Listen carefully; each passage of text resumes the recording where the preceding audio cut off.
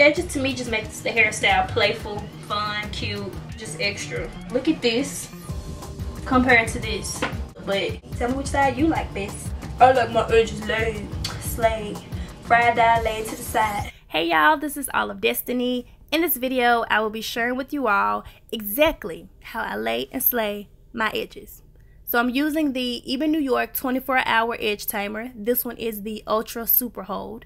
And I'll also be using my Red by Kiss edge brush.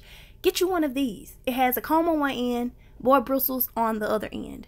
We don't use toothbrushes anymore. Upgrade, sweetie. This is only two bucks. So I'm going to take some of the product on my finger and just apply that to my hair. Sometimes I dip the bristles or I dip the brush straight into the product, but it kind of makes the bristles a little stiff. So it just depends. It depends on your mood, what you want to do.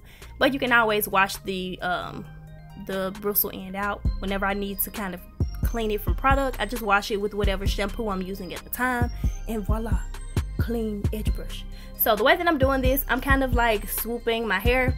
Um, I take note of where my temples are because I really like that to be like defined and swoopy and cute. And I know that everyone will lay their edges differently or baby hairs. I don't really want to get too much off the focus of trying to lay the hair between just differentiating words. So edges, baby hairs, whatever you like to call them. I don't want to focus too much on that. I just want to teach you how to swoop your edges or lay them because I've been getting comments from you all saying that you all have purchased the edge brush in the same edge tamer that I use all the time but you wanted me to show you specifically how I use it so yeah let's focus on that not the terminology so I also like to kind of do like this little swoopy motion towards the end uh near my ears. Sometimes I do this, sometimes I don't. It just depends. The edges for me is really like a playful type of thing with your hairstyle and it definitely makes it look more complete. As you all saw in the beginning, my puff was, yeah, it was cute, but this is to really make it like, mm, mm, mm, mm. So I'm just continuing to take product. Also note when I'm using the comb how I kind of follow with my finger and I kind of like press and swoop press and swoop and then I take the edge of the comb and that really helps me to define the edges further. If you're going to have an updo type of style, definitely go in behind your ear, uh, at the back, near the nape, all of that. Like you don't want the front just kind of slightly laid and then the back is like, ooh, oh my god, ooh.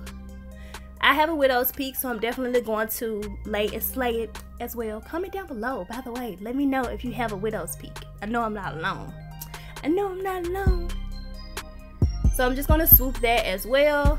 I'm using the comb to do that. I like the comb side and then I'll alternate with using the brush just to touch it up even further because I feel that using that comb, it really combs all of the hair into place and then you go back behind it with the brush to kind of define it.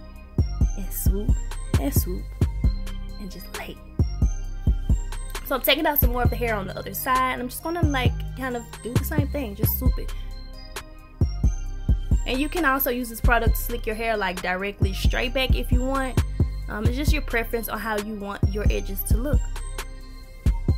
And again, I'm laying the back as well. Sometimes I get my dad to line my hair in the back, sometimes I don't.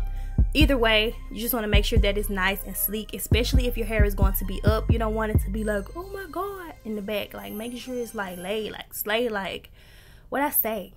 Don't play. My edges said stay out the way. this is my fifth time doing this voiceover, so whatever I say, we rolling with it this time. So I wanted to go ahead and perfect my little swoops a little further. I'm going to take some of my Soft-D styling gel and I'm just going to dip my brush straight into that. The gel is a little more mm, gel-like than the tamer so I can kind of work with it more. It really just swing my edges and just throw them around and make them do I don't know, backflips if I want them to. So I'm just showing you all that you can kind of make that little swoop go forward. You can make it go back your hairstyle like not that's not what I wanted to say. Your edges, it's like an art. Laying your edges is an art. Like I need a French accent to say this right now, and that's terrible. Oh my god, but oui oui, mademoiselle, mwah. So yeah, just kind of slicking them. I feel like they should have pictures of edges hanging up in like quiet little art museums that you go to. And you just kind of walk through and look and be quiet. I think I was trying to get a thumbnail at that point. So to really make it lay and slay and perfect them, you can tie it down, let it sit a while, marinate your edges. This is like setting your makeup. Also, with this being 24 hour edge tamer, you're not going to have to go back in and retouch up your edges all throughout the day. I find when sometimes when I'm in the beauty supply store, people are like, what are you using for your edges? And I show them and they're like seven bucks. Yeah, it only costs like seven bucks depending. But I'm like, I mean, get the dollar one if you want, but you're probably gonna have to use it like 10 times. Questions and comments, be sure to leave all of that down below. Definitely check out my other video if you want to see how I got my little puff. It'll be in my description box below as well. And as always, I thank you all so much for watching. These are the type of styles you come up with when it's like, I don't really feel like doing them, but small amount of this. Look at that curl over there, girl. The bigger the hair, it makes them stare. So if you want them staring, use this. Make it lay, make it slay what I say, don't play. Big Puff says stay out the way. Like,